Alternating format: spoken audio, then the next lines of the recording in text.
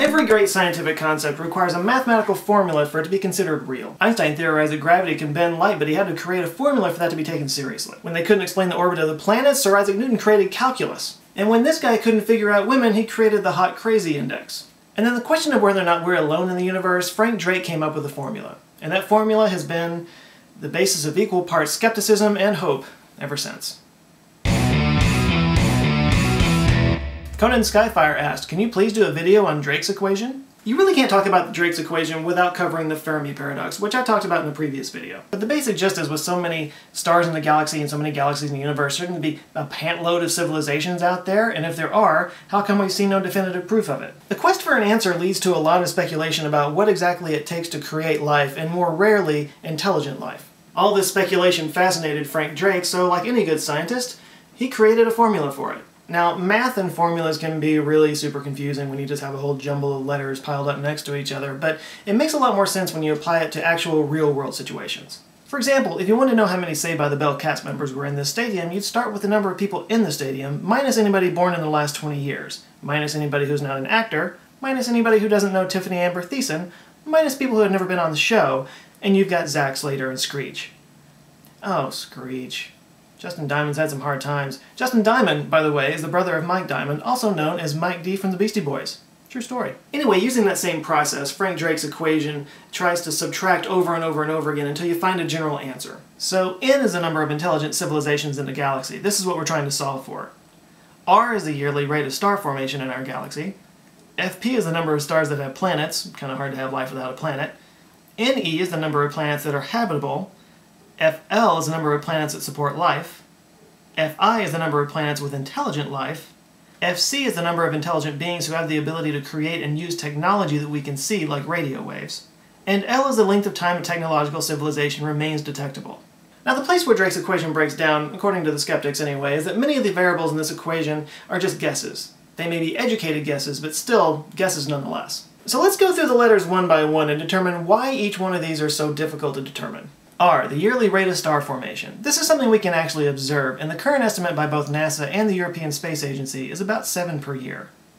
The number of stars that have planets. Almost 2,000 exoplanets have been confirmed as of the recording of this video, and new ones are being discovered almost on a daily basis. At this point, most astronomers believe that the ratio is pretty much 1 to 1. In other words, it's expected that every star has some type of planet. But the number of habitable planets gets pretty interesting. Because what we consider to be habitable is basically just what is habitable to people like us. Because we've only seen one kind of life, and that's Earth life. The question becomes how common is it for life like us to evolve, and that basically splits people into two different camps. Those who follow the law of mediocrity, and the rare Earth hypothesis people. The law of mediocrity starts from the premise that our very existence proves that life must be a common occurrence in the universe, that it's essentially biased to say that we're special or unique. It came as sort of a rebellion to the earlier days of believing that we are the center of the universe and the solar system. It was Copernicus's new model of the solar system that made us realize that we're not that exceptional. We're just another rock floating around the sun. That's why it's often called the Copernican principle. So this is a much more hopeful view of the argument, saying that life must be very common, and even a small percentage would still create a whole lot of opportunities. But the rare Earth people see it a totally different way. They're not necessarily saying that we're special, but they definitely think that we're the exception. They point out that there were a lot of very unique and specific things that happened in the formation of our planet that made it habitable that would be very difficult to reproduce somewhere else, very unlikely to happen again. And some of these things include a friendly galactic neighborhood. Planets too close to the center would get too many cosmic rays. Just the right type of sun, not too big and hot, a slow burner that will last a long time. In the Goldilocks zone, not too close to the sun and not too far away. Has a thick atmosphere and liquid water. Has just the right tilt, 23 degrees. Much larger and the seasons would be too extreme, baking one pole while freezing the other, and much shallower it would just scorch the center of the planet. Has a stable moon. Our moon not only causes tides that move the water around the Earth, but it also works as a gravitational gyroscope to keep the Earth's rotation from changing too much, and it has just the right size proportional to the planet at just the right speed. And the only reason we got our moon is because our planet was almost destroyed by a dwarf planet that tore away enough debris to form the moon. Really, the moon is an unsung hero in the story of life on Earth. Has tectonic activity. Our planet is constantly renewing itself, not to mention creating heat that warms the waters and pumps greenhouse gases into the atmosphere to maintain a warm crucible for the carbon cycle to take place. And finally, below all that tectonic activity is a solid iron core surrounded by a liquid core, which means the two cores are spinning against each other, which creates the Earth's dynamo. Our dynamo generates a strong magnetic field that protects the surface from harmful rays, but also shields our atmosphere from being picked away by solar winds, which is exactly what happened to Mars's atmosphere. Not to even get into the very specific percentages of elements in this particular planet, nitrogen, oxygen, carbon, ultimately carbon dioxide, and water, that may be the crucial elements for life to form. The rare earth people say that all these factors combine to make a very infinitely specific condition for life to form on Earth, and it would be very, very hard for that to replicate somewhere else. Both of these viewpoints are perfectly valid, but they've created a range between millions of worlds and maybe none. But that hasn't stopped people from trying. In 2013, a group of scientists using Kepler Space Telescope data said they calculate that there are up to 40 billion Earth-like planets orbiting Sun-like stars in the habitable zones of our galaxy. Since there are 100 billion stars in our galaxy, that gives a ratio of 0.4. So whatever it is we decide is the definition of a habitable planet, how many of those planets would actually go on to create life? Well, that's the next variable, FL.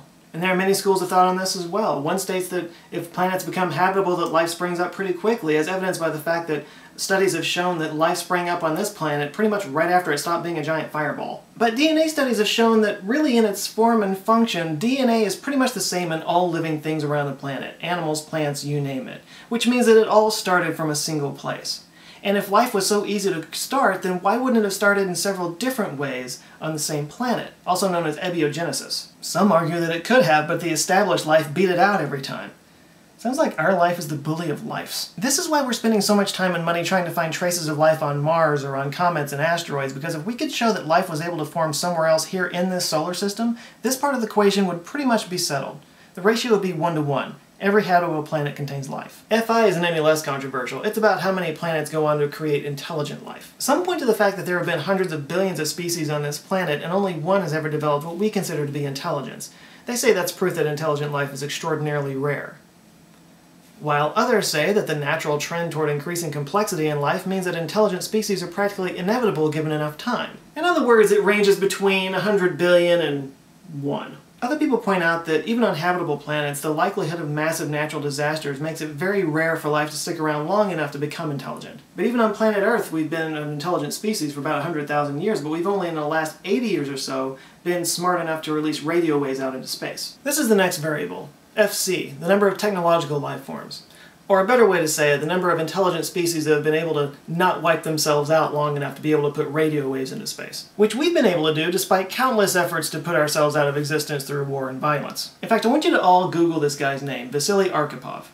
Take his picture, print it out, Frame it, put it on your wall. I want you to wake up every single morning and see this guy's face because this guy single-handedly prevented the end of life as we know it. I'll put the links in the description below, but during the Cuban Missile Crisis back in 1961, he was a second in command of a Soviet submarine that was sailing off the coast of Cuba. They got picked up by an American aircraft carrier. The carrier began dropping practice depth charges to get them to surface, which was not an unusual thing. Usually the protocol was they would warn the other ship that they were sending down practice depth charges and then send them to the surface. This was to make sure they understood that this was just a signal and not an attack. But the B-59 that Arkhipov was on was too far down in the water to actually receive those radio signals, so they didn't know that it wasn't an attack. Their orders in such a situation was to launch a nuclear torpedo, but it required the agreement of three different people on the ship.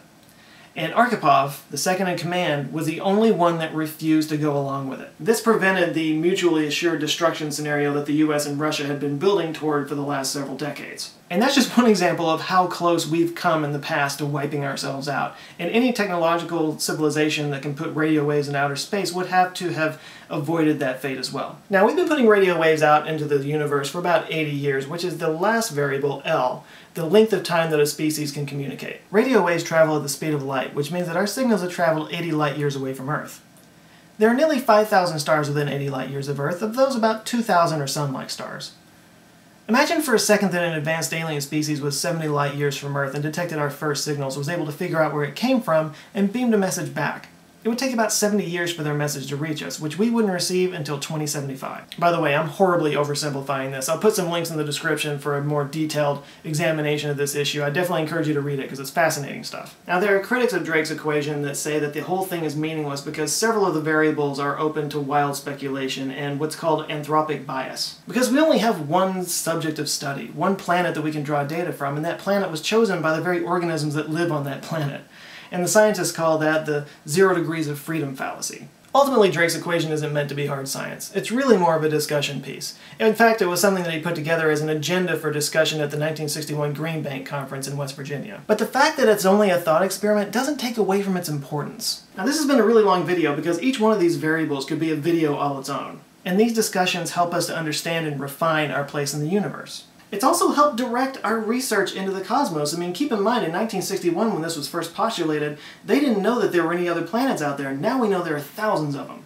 Maybe in time those other variables will be whittled down as well, and we'll have a clearer picture of just how spectacular or mundane our existence really is. Check out the links in the description below to go even further, and uh, let me know in the comments, are you a law of mediocrity person or a rare earth person? If you learned something in this video, give it a thumbs up, and if this is your first time here and you like it, hit subscribe. I come back every Monday with mind-blowing topics just like this one. If you've got a question you like answered, you can ask in the comments below or hit me up at Joe Scott Writer on Twitter, and we can get smarter together. The world is a fascinating place, and I'm here to bring all that interestingness to you so you guys go out there, have an eye-opening week, and I'll see you next time. Thanks for watching. Love you guys.